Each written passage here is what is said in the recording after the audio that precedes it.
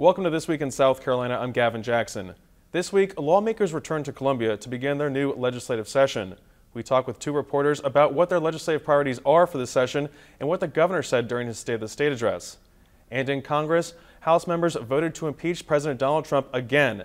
We speak with Congressman Tom Rice, a Republican who voted to impeach the president. Now the latest from this week. 124 House members and 46 Senate members returned to Columbia this week to start the new two year legislative session. Lawmakers are in session Tuesday through Thursday up until early May and have a lot of work to catch up on after their shortened session last year due to COVID 19. Senators are required to wear masks in the chamber, and security is tight as threats against all 50 state capitals have emerged following the Capitol siege.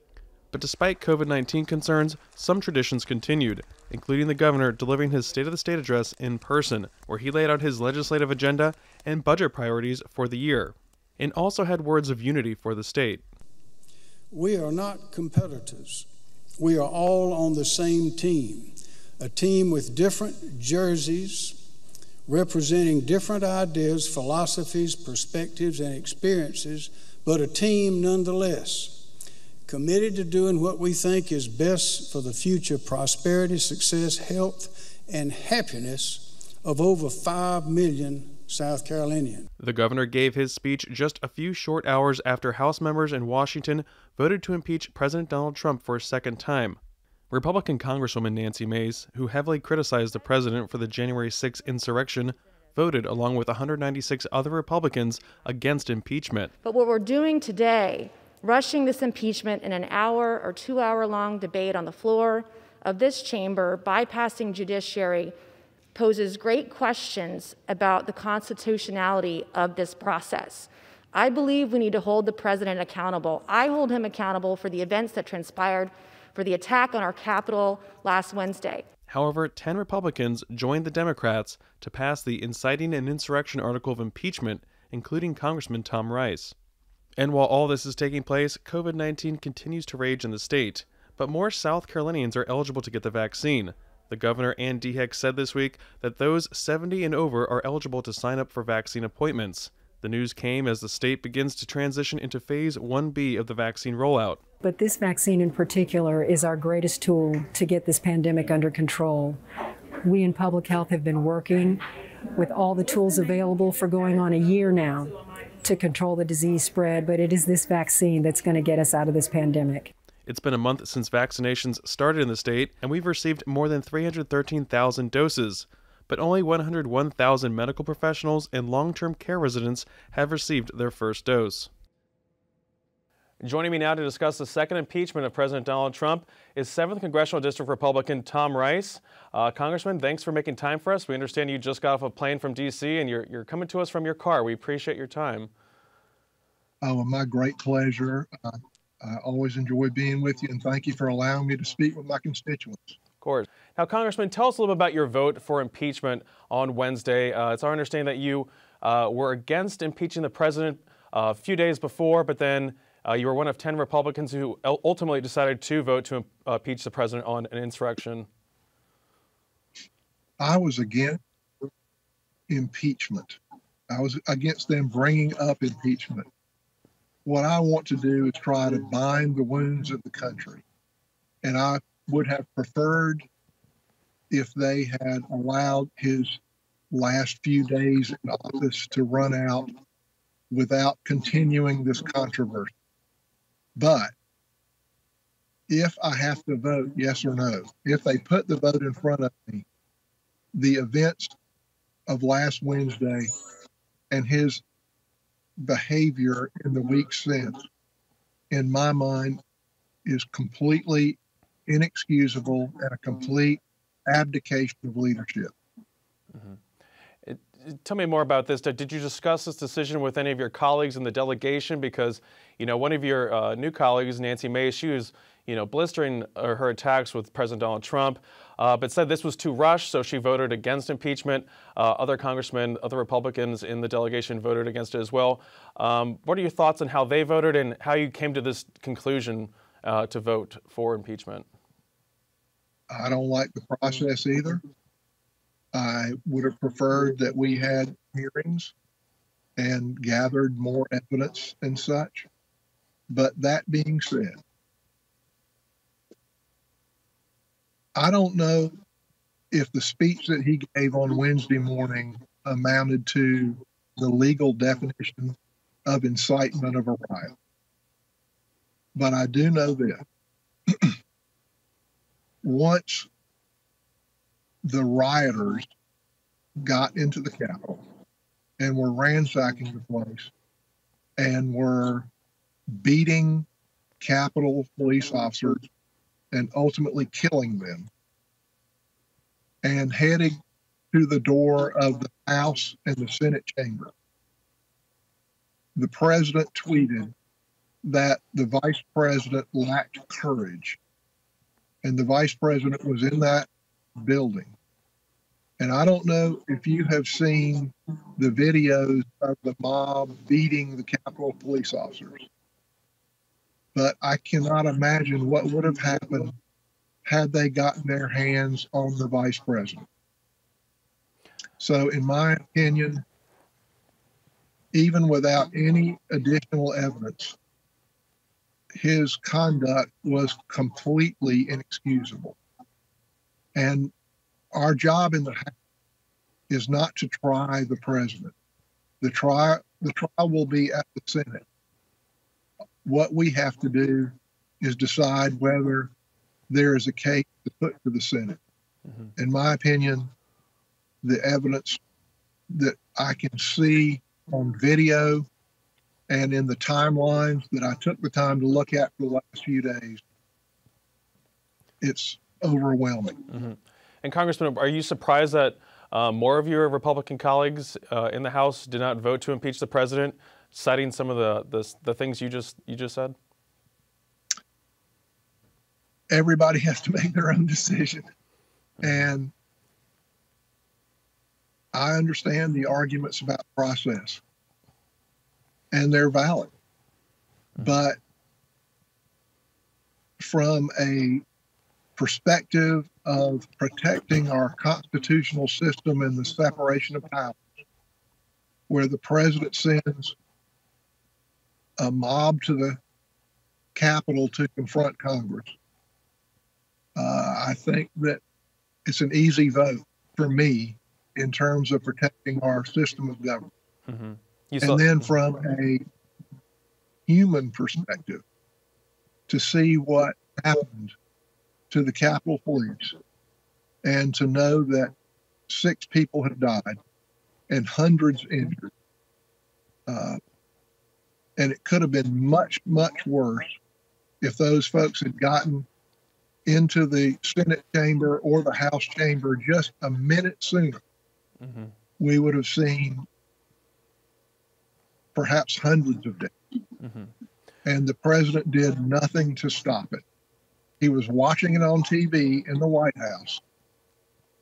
And he did an occasional tweet about the election was stolen and I know how you feel, but let's don't be violent. It was a very tepid attempt. He had communicated only on Twitter. I can't imagine that any president in my lifetime would not have called a press conference, done a done a uh, statement to the country. Mm-hmm. You know, would have had a live, televised presidential presentation mm-hmm. that evening to try to calm the waters and, and to console yeah. the people who were injured and killed. And Congressman, can uh, you can you contrast this this vote that you took for impeachment with the votes that you took moments after that insurrection when you all returned to the Capitol to take up the Electoral College certification. You still voted, uh, you objected to Arizona and Pennsylvania. You know, you can make the argument that obviously that was the reason this whole mob was incited in the first place because of baseless voter fraud claims of widespread voter fraud. Uh, but you still voted for uh, to object to those two swing state vote certifications. Can you tell us how that contrasts with what you did with the impeachment vote? It's two completely different things. On the one hand, we're talking about election uh, security and validity. Mm-hmm. And we had, you know, I, I studied on that vote and s- struggled with it for a long time. I made up my mind that I would not finalize my opinion until I had heard all the debates and seen all the evidence. And what finally pushed me over the boundary was we got a letter the night before from the president of the state senate in Pennsylvania with 30 of his fellow senators asking us not to certify Pennsylvania's electoral college vote until the U.S. Supreme Court had reviewed it and laying out the, all the problems with the Pennsylvania vote. So I felt like, you know, there were legitimate problems with the election, number one, and number two, that Congress had a role. There's a mm-hmm. procedure for objecting. If there's if there's no role for Congress, why is there a procedure for objecting? So mm-hmm. that's why I did it. I decided we'd have a debate. I knew we would lose because there's more Democrats in the House than there are Republicans. I was angry that the president was presenting it as a possibility that if Republicans only fought hard enough, that he would get four more years in the White House, which was never going to happen. Mm-hmm. He was creating all these unreachable goals that could not possibly have been met. And Congressman, and then he said, and then he said, Republicans in Congress are weak. And then he sent that mob down to confront us. I want to ask you really quickly uh, how you feel this vote will play out, the vote you took, and, and how we move forward as a, as a country and your party to heal with about 30 seconds here. Listen, I know there's a lot of people who are upset with me, and I know there's a lot of people who are happy with me. And believe me, I'm hearing a lot from them. And I, I know the president won my district. If this costs me my job, I hope it doesn't. I'm I love the job and I'm honored to represent. But if it cost me my job, it was the right vote, and I would do it again today. And again, some haunting images we saw coming out of the Capitol that I don't think are going to age very well going forward to a very historic. Imagine if those police officers being beaten on by that crowd and dragged down those stairs mm-hmm. would have been Mike Pence. Mm-hmm. Imagine mm-hmm. what would have happened while the president is tweeting that Mike Pence doesn't have courage. Some horrifying thoughts right there, sir. We thank you for your time, Congressman Tom Rice, joining us after just coming back from Washington. Thank you, sir. Thank you. Joining me now to recap the governor's State of the State address and to look at the legislative session is Associated Press reporter Jeffrey Collins and the state newspaper's Maayan Schechter. Thank you both for joining me. Hello, Gavin. Thanks for having me. Great to see you guys again. We got a new session going, so let's get right into it. Jeffrey, I see you're at the State House and on Wednesday night, the governor gave his fourth State of the State address. Uh, I kind of want to ask you about what we heard in that address. It was about 45 minutes long. They do this every year. Uh, they, lay out, they lay out their legislative agenda, budget priorities. Tell me what you heard, maybe what stood out to you. It, you know, his, uh, Henry McMaster, when he does the State of the State, usually mentions the things that he mentioned the week before in his budget request. That's kind of been his thing.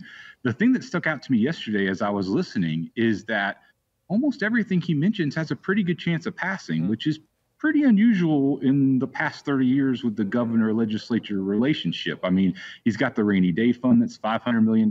He wants to save that money. He's got step increases for teachers he wants to put in. He's got helping out colleges and, uh, you know, armory buildings. He's got all uh, some law enforcement help money, but it's all stuff that, you know, if I was putting money on, it's got a pretty good chance of passing. Yeah, and uh, Maayan, we've seen that over the past couple years with the governor that he has been has that good relationship with lawmakers. Unlike his predecessors, he doesn't butt heads. He kind of goes along to get along. Probably doesn't get everything that he wants, but he does get some things, and that's a legislative victory uh, in his book because you know that's how things work up there. You got to get along to go along. Uh, but tell me what you are hearing from lawmakers. We've seen about a thousand bills already pre-filed. They're they're in the system now. They're going to be working through the system. Obviously, we only see about 100 of them actually make it into law. What are the top priorities right now we're seeing emerge? Uh, obviously, it's only been the first week, but maybe what you're hearing and what we're seeing right now for priorities. Well, well, tagging off of what Jeffrey said, I definitely think the budget is obviously a huge priority of the legislatures this year. They didn't get to pass a new one due to COVID last year. So I would imagine there's going to be a, a, lot of work being done uh, to do something this year. Um, I know that there's a, an emphasis, obviously, always every single single year on education. I don't think we're going to see a, a large 84-page omnibus education bill. Uh, uh, Representative Rita Allison told me a couple of weeks ago. Of course, she chairs the House Education Committee. That we'll see probably individual pieces, things that have a better chance of of passage.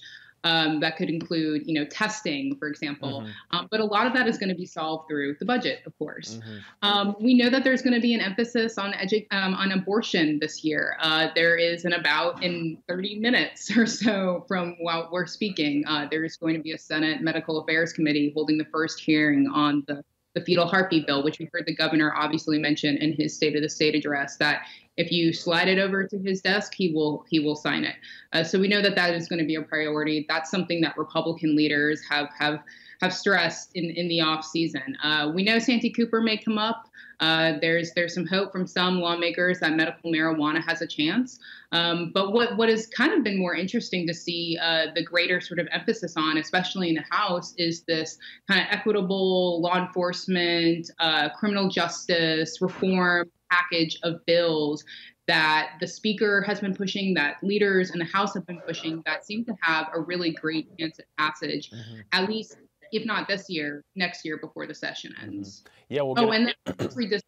I don't want to forget mm-hmm. about that. Now. Yeah, and we can jump into all those in a moment too. Jeffrey, I want to talk about the budget. Uh, we heard the governor talk about it last night, obviously, and again, that's the top priority, like Maayan was saying, of these lawmakers up there. That's the number one uh, issue. That's the, what they're charged with actually doing by law. Um, but it sounds like we're in a pretty good position compared to other states, especially after COVID just you know wreaked havoc on state revenues last year. Give us an overview of how things are shaking out and, and where we stand as a state right now.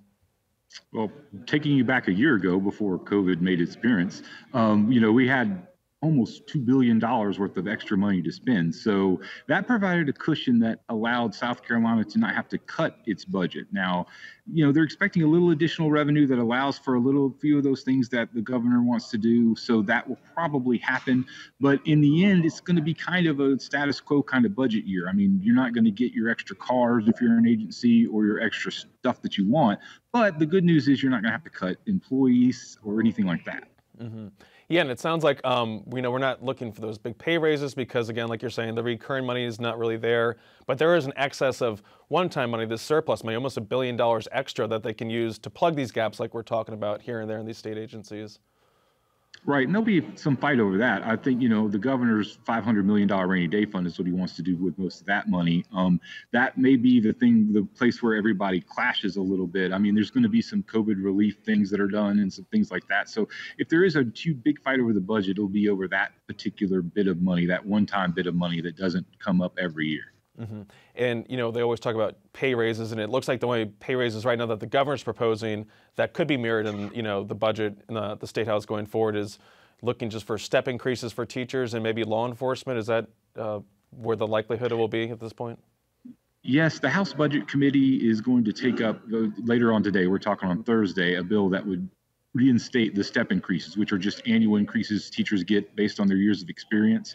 That got postponed because of the uncertainty of the budget mm-hmm. when the pandemic started. So the Senate already approved it. So that would seem like it's going to be going to happen probably fairly quickly, like by February. Mm-hmm. Um, the law enforcement, there is a small amount of money for law enforcement raises that would go to the agencies themselves to determine on merit. But as far as like broad across the board raises, it's just not does not look like it's going to happen this year.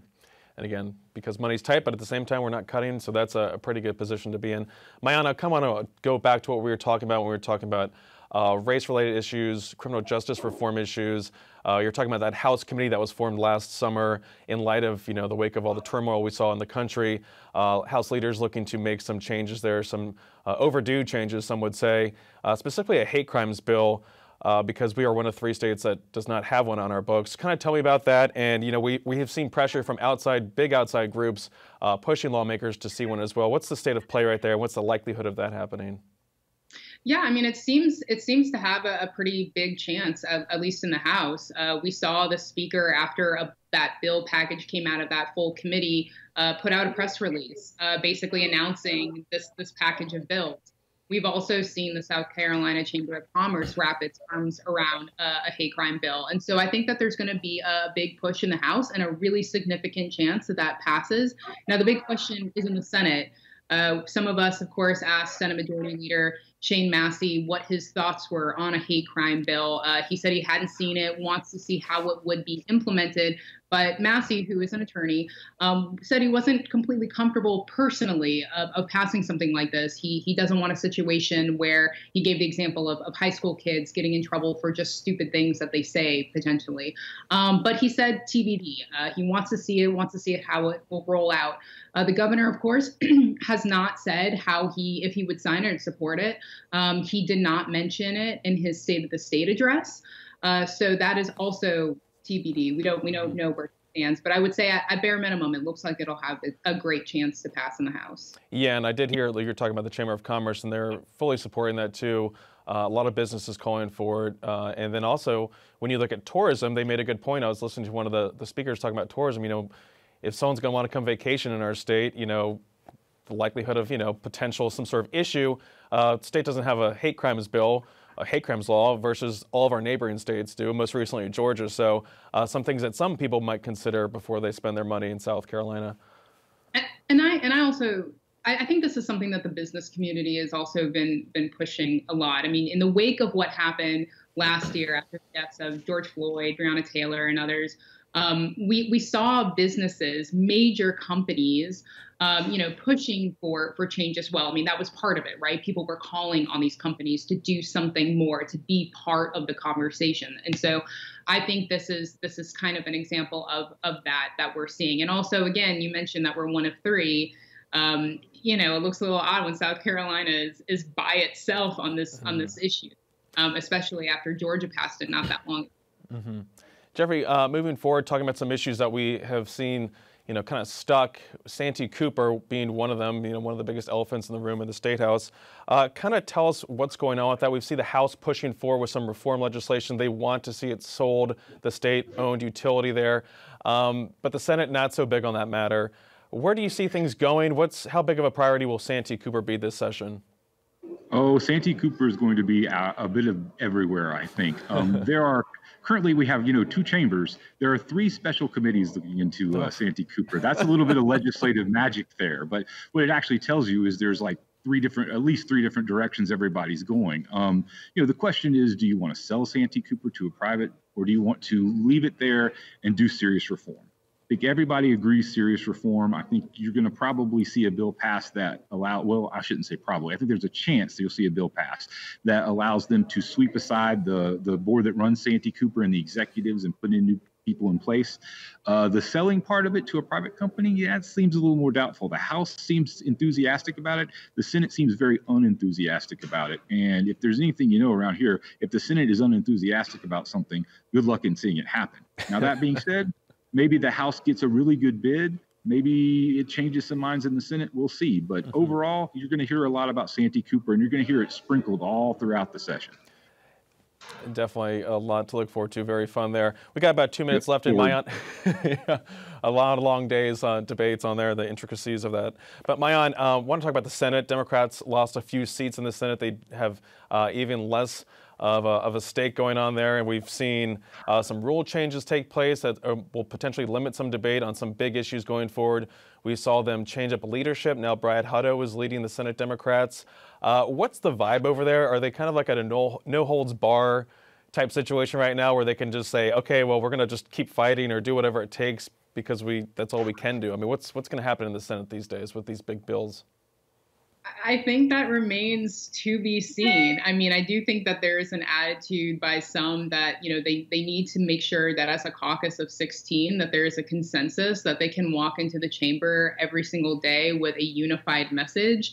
But, you know, let's let's be honest. Every senator has a different personality depending on on what bill. Not every senator in the same party agrees on everything. So I, I definitely don't think that that we'll see, um, you know, that that unifying message all the time. Um, mm-hmm. I, I, do think that there is a, a, bit of an attitude by some that look, we are we are in the minority. I mean, just just the other day when when the Senate made that rule change, I asked a Democratic senator his thoughts on it, and he said, I mean, what can we do? we, we, we don't have the power and the bodies to to uh, you know combat that right now.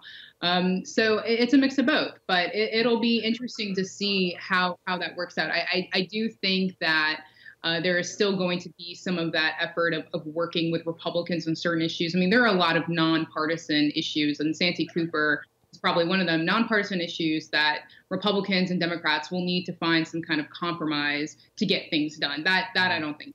And Jeffrey, you wanted to jump in on that really quick and wrap up there. Yeah, the uh, you know uh, there are six new senators this year of the 46. Five of them are Republicans. Three of them flip Democratic seats five out of the 30 Republicans being new, that's a sixth of the Senate's Republicans. And, you know, if there's one little thing I've noticed over the first couple of days is they seem to get along very well together. They've been a group that, you know, obviously you go through all that orientation together and you get to know each other. It'll be interesting to see if they can kind of create their own little block that gets mm. some things done that might not have been done otherwise. Mm-hmm. And they're all wearing masks in the Senate too, unlike in the House. So it's that's a yes. big start too, an agreement there. We have so much more to talk. President required it. Yeah. Uh, well, we have so much more to talk about, but we're out of time. But I appreciate you all. Uh, we'll probably catch up with you all a couple more weeks as we see some developments going forward in the State House. Jeffrey Collins with the Associated Press and Maayan Schechter with the State Newspaper. Thanks for joining us. Thanks for having Thanks for having me, Gavin. To keep you updated throughout the week, check out the South Carolina Lede. It's a podcast that I host multiple times a week. It gives you the latest information about politics, COVID 19, and more in our state. You can find it on southcarolinapublicradio.org or wherever you find podcasts. For South Carolina ETV, I'm Gavin Jackson. Be well, South Carolina.